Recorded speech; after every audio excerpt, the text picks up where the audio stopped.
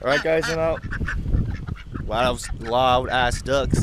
Anyway, I'm back out here at this lake. You guys might, may remember this lake uh, from when I was, you know, fish here naked. Uh, or half naked, had no clothes, uh, no pants on.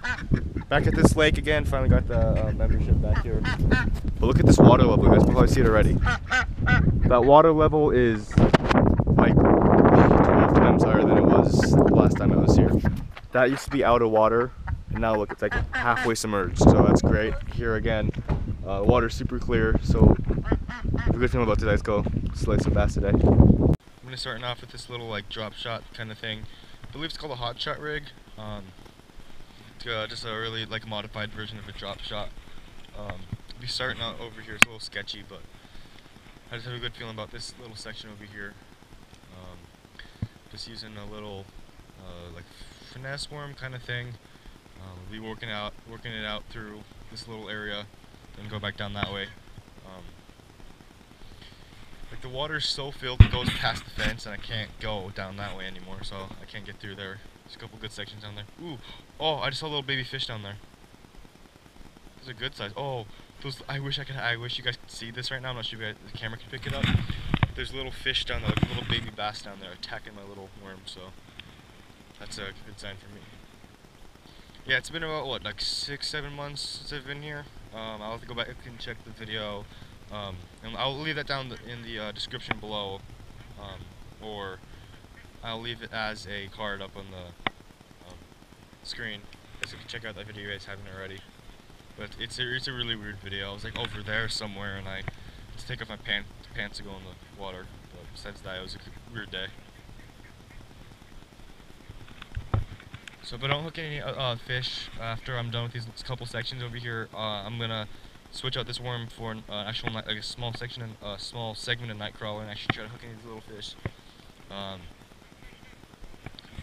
just because you know it's always good to catch little like micro fish, micro species. Um, even though bass aren't usually micro, they are when they're babies. But besides that, uh, I'll switch over to uh, nightcrawler.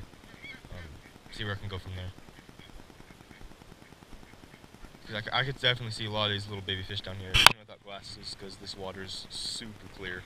I mean, not super clear, but it's pretty clear. Yeah, there's bluegill and little bass here. Put that right there for now and put some worms on. Oh, finally. Yeah, it's a, it's oh that's a micro bass, guys. That's what you call a micro bass.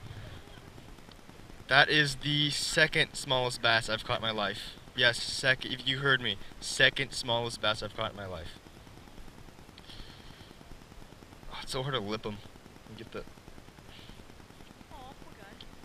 Yep, second smallest bass. Alright guys, switching down to a different section of lake down over there. Kinda sad I can't walk on the inside. But uh, it's fishing sometimes. Yeah, that, that place over there looks kind of juicy, so feeling kind of good. Caught one little micro bass already, so that should mean the mom is down somewhere. Spawning time was about a couple months ago, two months ago, I want to say. So that means uh, there should be some longins down, um, super long fish around here somewhere. There's a bunch of little fish down there. I'm going to land a fish from up here.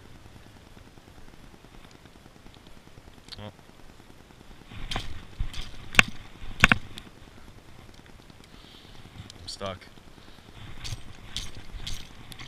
It usually works, why doesn't... Yep. Broke off. Well, that blows. I haven't broke off in years. But I'm just gonna go back and retie right now. Alright guys. Um, retied, I should really be getting over there, but there's all these little juice spots I want to fish.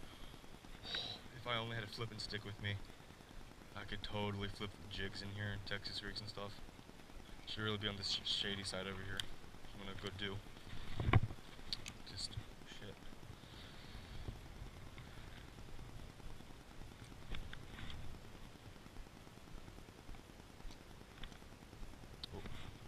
Oh, oh, yes, he's not that big. Woo!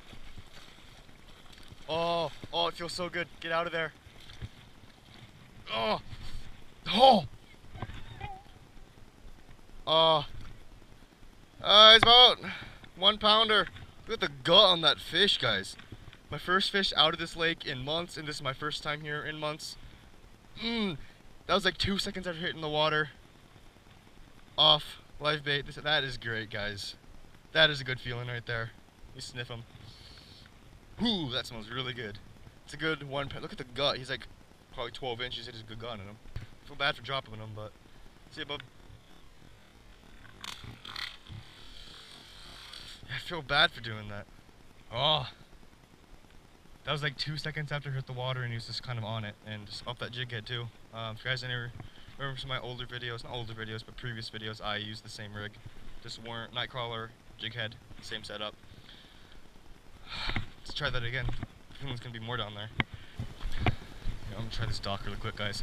Because it's only gonna be related to structure and cover and stuff like that. So this seems like a little good spot. I haven't, you know, fished docks enough, um, but I know that they like docks, so I'll just be trying to get underneath that, if I can even pitch correctly.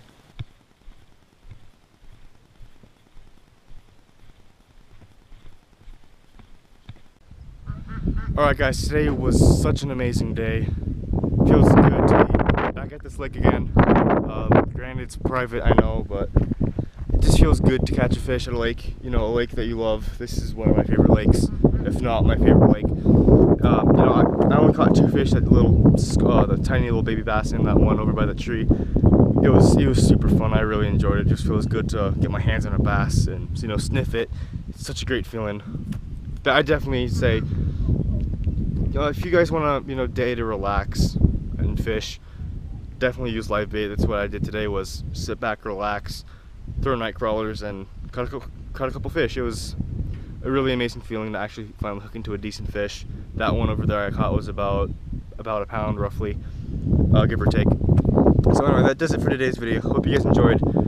Hit the like button, also hit the subscribe button below. I'll catch you guys next time.